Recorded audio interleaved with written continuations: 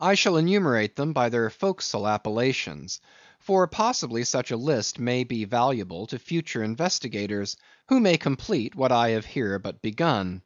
If any of the following whales shall hereafter be caught and marked, then he can readily be incorporated into this system, according to his folio, octavo, or duodecimo magnitude: The Bottle nose Whale, the Junk Whale, the Pudding headed Whale, the Cape Whale, the Leading Whale, the Cannon Whale, the Scrag Whale, the Coppered Whale, the Elephant Whale, the Iceberg Whale, the Quog Whale, the Blue Whale, etc.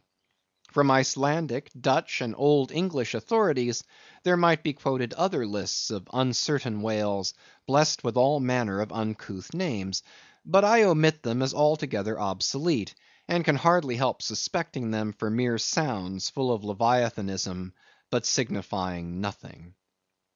Finally, it was stated at the outset that this system would not be here and at once perfected. You cannot but plainly see that I have kept my word.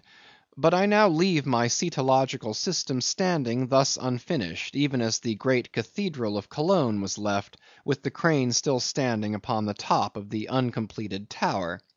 For small erections may be finished by their first architects; grand ones, true ones, ever leave the copestone to posterity.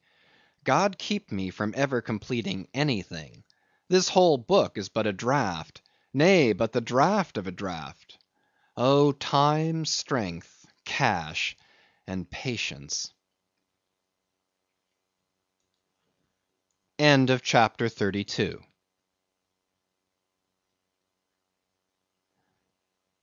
Moby Dick, by Herman Melville. CHAPTERS 33 to 35.